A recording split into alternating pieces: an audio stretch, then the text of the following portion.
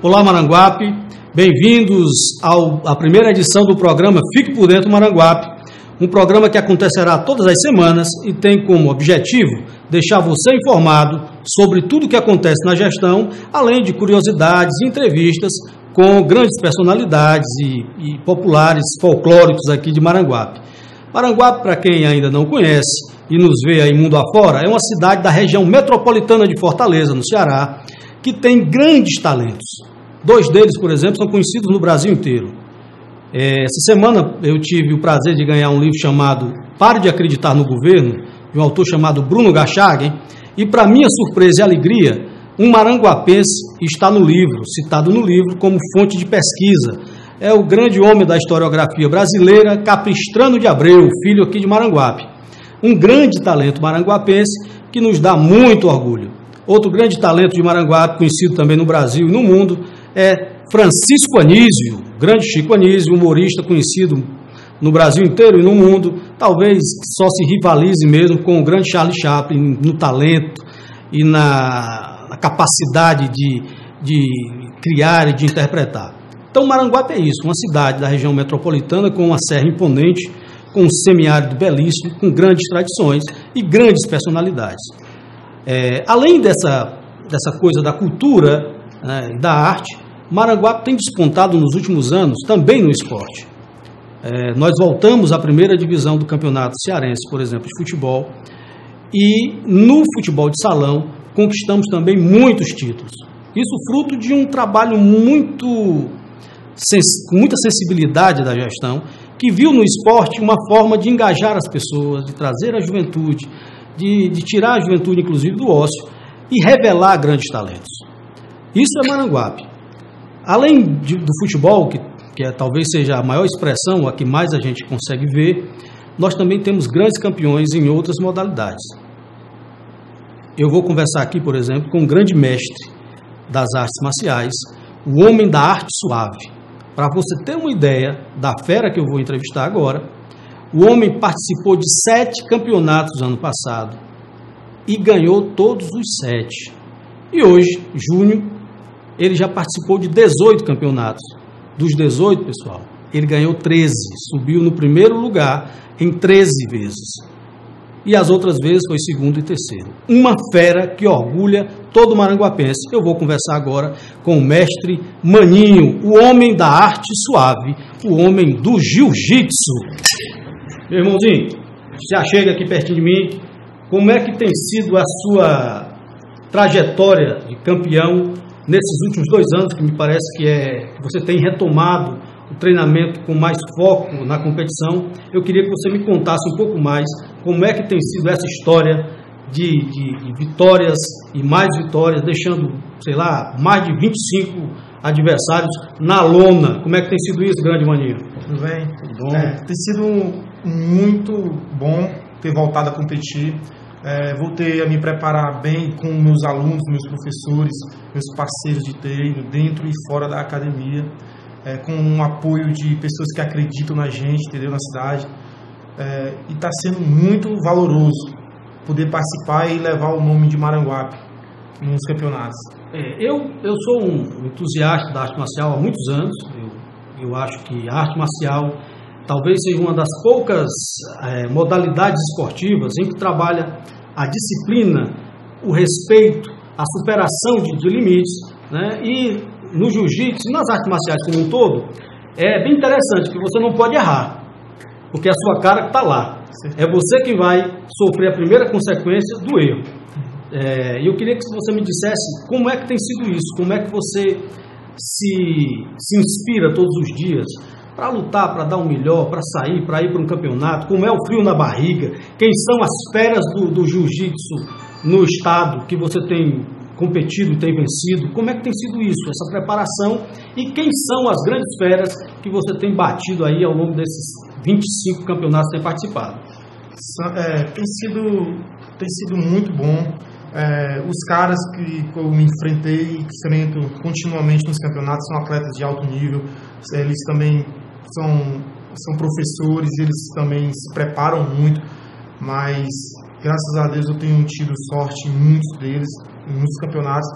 E a preparação, o estímulo todo, é, eu, gosto, eu gosto muito desse esporte. A, o estímulo é ver os meus alunos acreditarem em mim, meus professores, minha mãe, é, meus amigos, entendeu? Isso me estimula muito e eu faço o que eu gosto para poder fazer bem feito. É, fazer o que a gente ama é sempre mais fácil. Né? É. A gente sempre faz com muito mais prazer e, é, é a, é a, possibilidade de vitória realmente é bem maior. Uhum. Hoje você dá aula em uma academia aqui em Maranguape, é isso? Isso. Qual é o nome da academia? É, Bushido Brasil. Bushido Brasil. Isso. E você também é professor da prefeitura de artes é, marciais? Do projeto social que a prefeitura me, me encaixou como professor, onde está sendo muito gratificante poder passar o que eu sei e poder ajudar na vida desses, dessas crianças. Onde é essa? É no núcleo do CRAS, na, na, no Sapopara, que fica ali na Tabatinga. Tabatinga. Como é que, como é que os alunos dessa, dessa comunidade é, receberam o jiu-jitsu? Como é que, o que, é que você percebe, digamos, do primeiro dia de aula para agora? Você consegue perceber a evolução na conduta, na forma de lidar com as coisas? Como é que está é tá sendo essa experiência você? Muito boa. Eles, eles já começaram a participar com, com muito, muito entusiasmo. Depois que com, com me conheceram, é, começaram a ver os, os, fotos e vídeos minhos nos campeonatos, isso estimulou muito a eles a, a participar das aulas e, e um comentando com o outro foi aumentando o número de alunos. E ele, todo, toda segunda-feira, quando eu chego no núcleo para dar aula, eles me perguntam se eu, se eu ganhei o campeonato, como foi, aí eu tenho que mostrar, tenho que mostrar foto, vídeo, conversar com eles antes da aula. Mas tem sido muito bom, muito gratificante. Parabéns. Eu tenho uma, algumas dúvidas. É, a arte marcial praticada no tatame é, gera uma disciplina, uma conduta moral e ética que tem que sair do tatame também e acompanhar o atleta fora do tatame, fora do dojo. Você não pode ser um, um bom atleta na academia e ser, digamos assim, um arruaceiro fora dela. Como é que você tem lidado com isso? Essa, essa capacidade de dizer ao aluno, olha, isso aqui é uma academia, se comporte melhor na rua, não brigue. Porque a gente via que no, no Brasil, há alguns anos, nós tivemos uma onda dos fit boys, né? Aqueles caras que iam procurar briga na rua porque era um cara, um machão e tal. E eu via muitos professores tentando acabar com isso, sobretudo no jiu-jitsu é, o pessoal da família Grace, enfim, o jiu-jitsu como, como, um todo, aqui mesmo o professor Sá, que é uma lenda do jiu-jitsu no Ceará, como é que vocês lidam com os alunos que têm essa característica, digamos assim, um pouco mais agressiva? Você já teve, já lidou com esse tipo de situação e de que forma você consegue, é, digamos assim, fazer a cabeça do aluno, dizer, convencê-lo de que a arte marcial ela é para o equilíbrio do, do, do atleta? Isso, isso ainda não, isso graças a Deus não aconteceu comigo, mas a gente passa toda a doutrina, toda a disciplina para eles e isso vem e o esporte transmite isso naturalmente. É, no começo lá no projeto os, os alunos estavam muito imperativos, mas agora já está tudo bem mais calmo porque tem a ordem, tem, tem respeito com o companheiro que é passado para poder ajudar, que um necessita do outro, o próprio treino, entendeu? E isso é isso eu falo com eles todos os dias de treino, que isso a gente tem que usar não só dentro como fora do tatame, na vida, para que a gente possa ser um cidadão melhor. O professor tem uma grande responsabilidade, porque você hoje é a inspiração de uma centena de atletas, uma centena de alunos, e essa coisa de cuidar muito da sua imagem deve ser um, também uma preocupação sua? Como é que você lida com isso fora da academia hoje? Naturalmente, eu, eu participo de programas sociais, de, de atividades sociais normal, tenho amigos, tenho família, é, sou uma pessoa normal, só participo, só gosto de competir, é, jiu-jitsu, dou aula e vivo naturalmente com pessoas que, é, que participam da minha vida, que de uma forma natural, uma vida, levo uma vida bem normal. Me diga uma coisa, você com 25 lutas do ano passado para cá, tendo ganho é, 17, quase 19, né? 19 lutas você, tem, você ganhou até, até agora, primeiro lugar, a, subiu no pódio em todas as vezes. Me conte uma coisa, meu amigo, como é a rotina de treinamento de um campeão como você? Não deve ser fácil. É, intensa, bem intensa. Eu treino dentro e fora, é, com alunos, com os alunos que me dão muita força, os meus professores, que é muito importante para mim, professor Thompson, professor, professor Davis e, o, e, um professor que tem me incentivado bastante, que é o professor Dilvan, que está acreditando muito em mim. E também com os meus parceiros de treino, que são de outras equipes, mas são parceiros de treino do esporte, que é o Vanderlei e o Leandro Silva. São pessoas que também são muito importantes para mim nessa trajetória.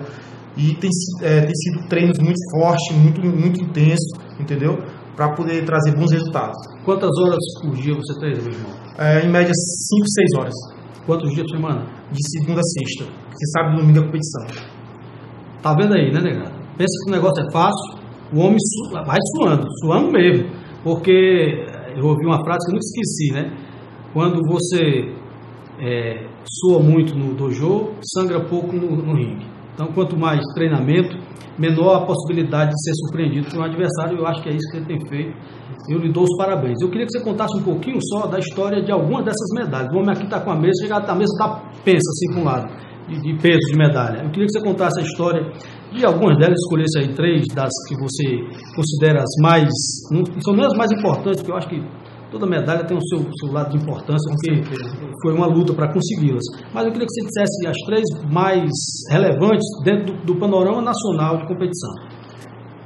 Essa, essa medalha aqui é o, o Campeonato Brasileiro que aconteceu em maio em Natal. Foi um, foi um objetivo muito importante para mim. Ele, eu, passei, eu participei dele, fui muito preparado, ganhei, perdi a, ganhei o terceiro lugar, perdi na primeira luta por quatro vantagens a zero para a pessoa que foi campeão, para o atleta que foi campeão. E na segunda luta eu ganhei por finalização.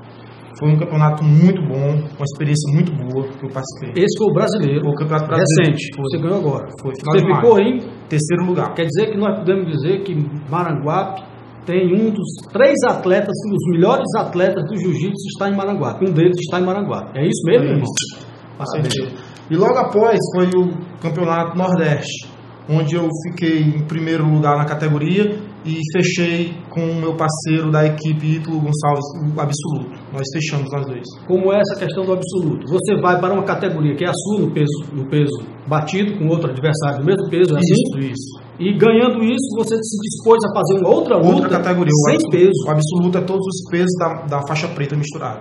Quer dizer que você pode pegar um gigante isso. e arrojar um nó no é. cabo. Isso. E aí você foi para o absoluto? A gente ganhou as, as lutas e fechamos na final. Eu e o meu colega de treino, o Ítalo Gonçalves, que somos da mesma equipe, e fechamos absoluto. Rapaz, é uma, é, uma, é uma, fera. E aí a outra medalha, essa aqui tem, tem uma essa aqui verde, não dá para mostrar, porque eu acho que vai dar revertério aí na câmera, mas a gente pode ver uma outra medalha. Diga aí uma outra que você considera que foi um jogo duro. Campeonato Cearense, foi um, um, campeonato muito forte também, onde eu fiz duas lutas e ganhei todas as duas, de dois atletas, dois atletas de alto nível, mas graças a Deus me sobressaí melhor e foi muito bom. Foi muito eu bom. vi um vídeo seu em que você praticamente fez uma luta atrás da outra. Isso. E aí você, eu vi que você lutou muito bem, ganhou uma luta, a gente sobrou na luta, mas pela estratégia do professor, do seu adversário, o outro camarada não tinha lutado ainda, e veio com todo o gás para cima de ti. Como é que foi essa, essa, luta? Me conte um detalhe. Como é que é, isso é resolvido? Tem como fugir de uma situação dessa? Ou você, depois que está lá dentro, o cabo bota, não tem mais o que fazer, tem que lutar? Como é isso? Não tem, que a gente está lá para lutar, né? Mas foi, um, é, foi um, um, campeonato que houve no começo do ano, eu lembro desse campeonato. Foi um campeonato sozinho, que aconteceu lá no S. Borba, eu fiz uma primeira luta, todos os dois, os meus dois adversários eram da mesma equipe, da equipe SAIS, dois fortes adversários. E, ele, e eu lutei com um, ganhei de 15 a 0 dele. E o outro, pisa, o outro já em seguida, era para eles dois lutarem, era três, era melhor de três. Era para os dois ter lutado, o que perdeu para lutar com o que estava sobrando, para o vencedor dos dois e, e lutar comigo, fazer a final. Isso. E eles combinaram e o outro que não lutou passou descansado para lutar comigo. E eu não tive o tempo, necess... o tempo exato de, de descanso e já lutei direto com ele. E ele venceu por 1 a 0 de mim. Foi uma mas luta dura, mas ele venceu. Não sei se eu se, se estou correto, que você me corrigisse eu acho que eles negaram um ponto para você ainda nessa segunda luta. Foi, é coisa que acontece. Cada campeonato acontece suas falhas, mas é coisa que acontece mesmo. De qualquer forma, valeu. Valeu, foi uma experiência Porque muito boa. Foi uma luta muito dura. A primeira luta foi de quanto a zero? Foi 15 a 0. 15 a 0, 15 meu amigo, é um massacre. É coisa de quem treina, de quem treina, quem treina é. muito. É, campeonato é assim, eu, eu, eu, sei muito bem como é, acompanhei alguns campeonatos como, assim, como espectador, eu sou fã das artes marciais, e de vez em quando a gente tem aquelas falhas, né? O juiz deixou de dar um ponto, isso, isso. faz toda a diferença no ponto final faz, faz. Da, da, da, história. Agora me diga outra coisa, há uma, um mundo que tem os olhos voltados hoje para as competições de MMA né, que é uma competição em que você envolve várias artes marciais. O jiu-jitsu reina na, no solo, o muay thai praticamente é o, é o rei na, na, trocação, né, em pé você tem muita gente de muay thai, você tem a luta grego-romana que tem também feito um, uma grande diferença quando os lutadores vão para o ringue. Eu queria saber, você tem vontade de, de, participar de uma luta de MMA? Você treina outras modalidades além do jiu-jitsu? Pensa em participar desse mundo das lutas? É, isso eu já participei de uma em 2013. É, foi uma luta, foi uma experiência muito boa. É, não, eu não ganhei, perdi essa luta, mas foi uma experiência muito boa. É, me preparei só, me, a minha preparação foi, minha preparação foi só não tive uma, um apoio de preparação, mas eu já estou pensando nisso, já estou focando nisso para é, ano que vem já, me, já começar a me preparar e participar novamente, que eu gostei e quero voltar a participar. Se você fosse eleger três artes marciais, duas apenas, porque uma eu sei que é o seu, a sua luta de coração, que é o jiu-jitsu, você já é mestre nisso. Mas se você fosse escolher mais duas lutas para treinar e se dedicar para participar do MMA, quais seriam as lutas complementares ideais para o seu estilo de luta, que faria você ter um desempenho interessante no MMA?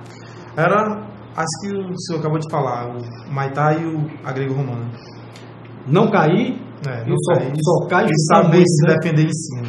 Nós vamos ter uma luta nessa semana que vai ser histórica. Nós vamos ter um campeonato, é, uma disputa do cinturão entre um brasileiro e aquela fera, eu acho que é mexicana, né? O é o Verdun e o Velasquez. Duas feras, dois monstros ali, ali vai ser uma batida de trem cargueiro. ali não tem moleza. Qual é o seu palpite? Conhecendo, como você deve, deve seguir a, as lutas de MMA, conhecendo a fera que é, a frieza que é o Caim Velasquez, aquele cara é um, é um iceberg, ele parece que vai lutar, assim, vou dar uma volta ali volto já, vou ali volto já, é, um, é uma frieza que você não percebe muita emoção nele lutando, era, parecia muito com aquele lutador antigo, Melenenko, eu acho que era um russo. E o Verdun, outra fera, um homem que no jiu-jitsu é uma, é uma lenda já, e também muito bom, muito pegado na, na, na, na luta de, de trocação. Que, qual é o seu palpite para a luta do sábado, que vai ser essa fúria de titãs aí? A minha torcida toda vai ser pelo, pro Verdun, mas eu sei que vai ser uma luta difícil o Caio Velasquez é um, é, um, é um atleta muito forte, completo, que, que vai ser muito complicado para o Verdun. Mas o Verdun também está preparado, está se preparando e eu acho que vai ser 50% para os dois. O, o Velasquez já lutou com três lutadores brasileiros, foi isso? Foi. Cigano? Cigano, o Pezão. Pezão, né? E o. Tem um outro, eu acho que foi o Minotauro, não foi não? Foi, Minotauro. Isso, uma, quer dizer, o cara conseguiu desbancar isso. três grandes lutadores. Mas uma delas ele perdeu pro, pro Cigano. Teve uma vez que ele perdeu. Né? Aí na revanche, é, aí na revanche ele, ele levou, né? Ganhou. Qual é a estratégia então do Verdun? Eu acho que o Verdun é muito forte no chão, o jiu-jitsu é muito forte, mas o problema é levar o Caim Velasquez pro chão. é, esse é o problema. Essa é a questão. Mas vamos torcer para que dê certo. Eu, minha torcida toda pro, pro Verdun. Muito bem. Pessoal, Encerramos aqui, deixa eu botar aqui os piscineiros novamente. Encerramos aqui o nosso primeiro bloco do programa Fique por Dentro Maranguape, com o grande mestre das artes marciais maranguapense é, Maninho. Na próxima semana teremos novidades, mais gente boa, mais talento de Maranguape, mais informação para você aqui direto dos estúdios da MPE TV. Até lá.